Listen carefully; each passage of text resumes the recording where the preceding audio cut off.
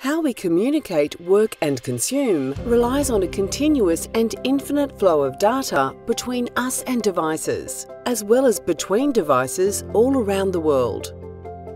Every organisation, large or small, deals with the security of their own or someone else's data and information. Securing data and information is now an essential ingredient for success for every organisation around the world. It's no longer just a business precaution, but a profit-driving competitive advantage.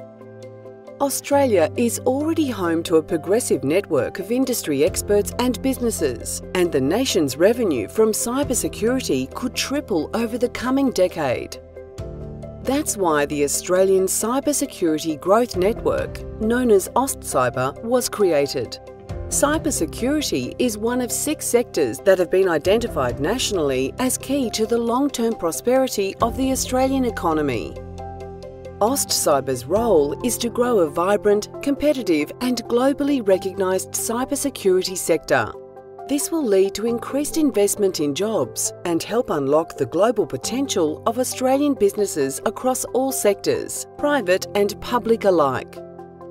AustCyber's three priorities are to grow an Australian cybersecurity ecosystem, export Australian cybersecurity to the world, and establish Australia as the leading centre for cyber education.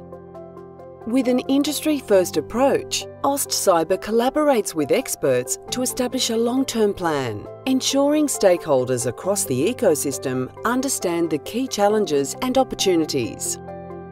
This ensures key players are connected and their efforts are multiplied through collaboration and strong innovation practices.